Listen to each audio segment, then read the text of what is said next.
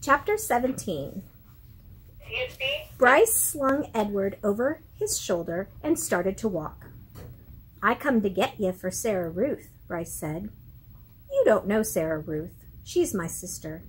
She's sick, and she had her baby doll made out of china. She loved that baby doll, but he broke it. He broke it. He was drunk and stepped on that baby's head and smashed it into a hundred million pieces. Them pieces were so small, I couldn't make them go back together. I couldn't. I tried and tried.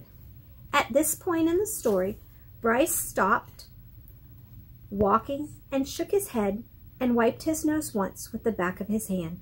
Sarah Ruth ain't had nothing to play with since.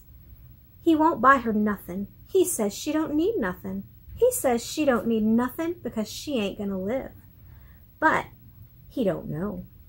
Bryce started to walk again. He don't know, he said. Who he was was not clear to Edward.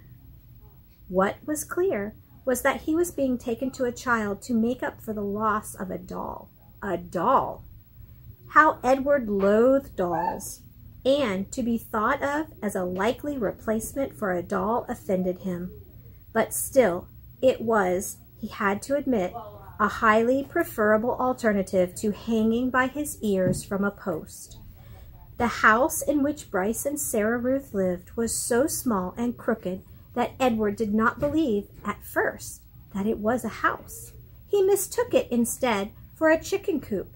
Inside there were two beds, a kerosene lamp, and not much else. Bryce laid Edward at the foot of one of the beds and then lit the lamp. Sarah, Bryce whispered. Sarah Ruth, you gotta wake up now, honey. I brung you something. He took the harmonica out of his pocket and played the beginning of a simple melody. The little girl sat up in her bed and immediately started to cough. Bryce put his hand on her back. That's all right, he told her. That's okay. She was young, maybe four years old, and she had white blonde hair. And even in the poor light of the lamp, Edward could see that her eyes were the same gold-flecked brown as Bryce's. That's right, said Bryce. You go on ahead and cough. Sarah Ruth obliged him and coughed and coughed and coughed. On the wall of the cabin, the kerosene light cast her trembling shadow, hunched over and small. The coughing was the saddest sound that Edward had ever heard, sadder than the mournful call of the whippoorwill.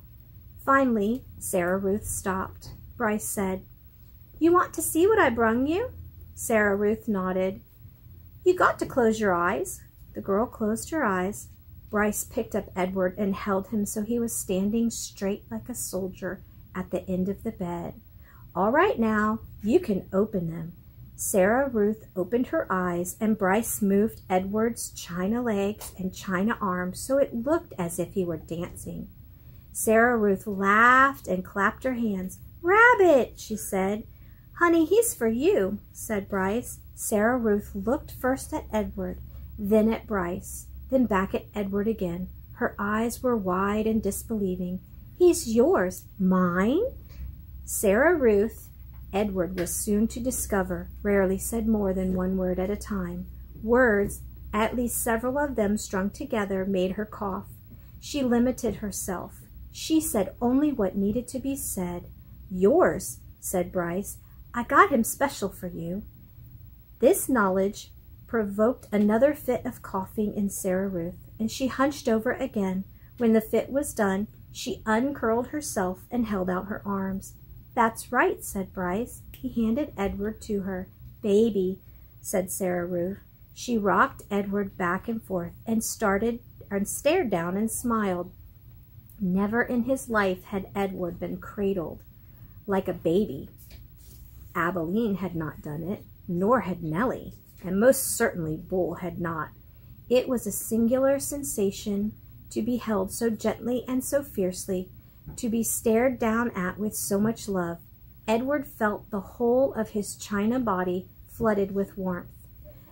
You're going to give him a name, honey? Bryce asked. Jangles, said Sarah Ruth, without taking her eyes off Edward. Jangles, huh? That's a good name. I like that name.